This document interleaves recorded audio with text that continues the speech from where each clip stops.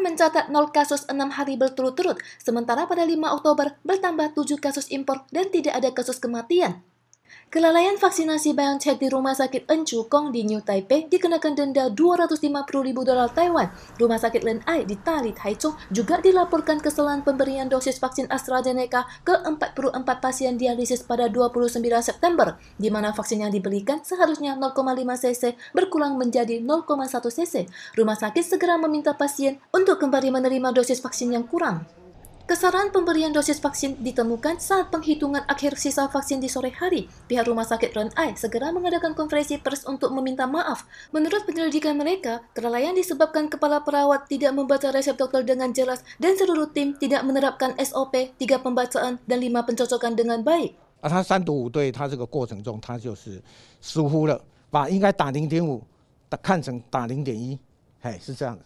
ke-44 pasien dialisis, kecuali 4 orang yang menolak kerana alasan pribadi, telah selesai menerima sisa 0,4 cc vaksin yang kurang pada 1 Oktober. Saat ini, perizinan vaksinasi rumah sakit juga telah ditangguhkan Biro Kesehatan. CCC mengumumkan pelonggaran kewaspadaan pencegahan epidemi level 2, termasuk KTV dan game center diizinkan buka bersyarat. Kabar ini membuat para pelaku usaha yang telah tutup selama hampir setengah tahun segera menyiapkan dokumen dan persiapan beroperasi kembali.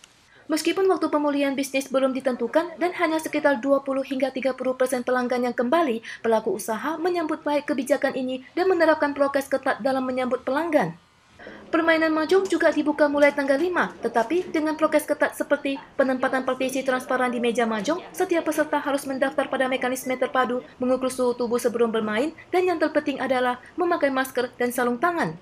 Selain itu, seiring meredanya epidemi, CCC juga menyetujui tidak perlu partisi untuk penggunaan internal di restoran dan makanan panas seperti terut teh di toko wararaba juga bisa diambil tanpa layanan staf toko. 的确是比较方便，因为像上班的话， 其实人潮蛮多的，然后如果都是之前都由店员帮忙加群，那其实店员其实自己也很忙碌。Seorang warga mengatakan pembeli juga tidak akan senang jika terute yang diambil staf toko rusak atau tidak enak. Setelah bisa ambil sendiri, berhubung peralatan akan dipakai oleh banyak orang, baik pembeli maupun pelaku usaha, harus melakukan prokes dengan baik untuk menjamin keberlanjutan kehidupan yang nyaman. Media sosial Facebook, Instagram, dan WhatsApp sempat padam secara bersamaan pada tanggal 4 pukul 11 malam. Banyak pengguna di seluruh dunia yang sedang obrol, mengatur agenda, atau membaca pesan tiba-tiba kehilangan koneksi. Setelah padam, sebuah posting Facebook muncul di Twitter mengatakan, kami menyadari bahwa beberapa orang mengalami kesulitan mengakses aplikasi dan produk kami. Kami sedang berupaya agar semuanya kembali normal secepat mungkin. IG dan WA juga memberikan respons yang sama.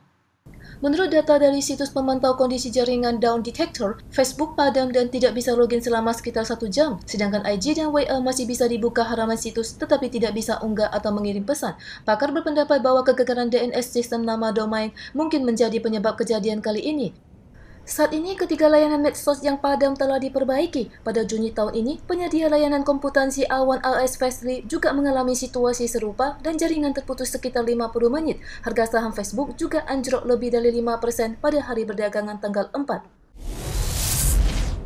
Hari nasional semakin dekat dan ruang udara barat daya Taiwan kerap diganggu jet tempur Tiongkok. Jumlah pesawat dalam satu hari yang dicatat Kementerian Pertahanan Nasional pada tanggal 4 pukul 8 malam mencapai 52 pesawat dan pada pukul 10 lewat 50 kembali bertambah 4 jet tempur J-16 dengan total 56 pesawat dalam satu hari, mencatat rekor terbanyak sejak dinamika jet militer Tiongkok diumbar. Kapal induk HMS Queen Elizabeth Inggris melewati Selat Luzon pada tanggal 4 dan memasuki Laut Cina Selatan untuk latihan militer. Sebelumnya juga telah melakukan latihan bersama dengan lima negara lainnya termasuk Amerika Serikat dan Jepang di Laut Barat Daya Okinawa, Jepang pada tanggal 2 dan 3. Para pengamat menilai banyaknya jet tempur mendekati wilayah Taiwan berhubungan dengan hal ini. Juru bicara Kementerian Luar Negeri Amerika Serikat Ned Price dalam hal ini juga mendesak Beijing untuk menghentikan tekanan militer, diplomatik, dan ekonomi terhadap Taiwan. Perdana Menteri Jepang yang baru, Fumio Kishida, juga menyebutkan Tiongkok telah mencuba mengubah status quo di Laut Cina Timur dan Laut Cina Selatan.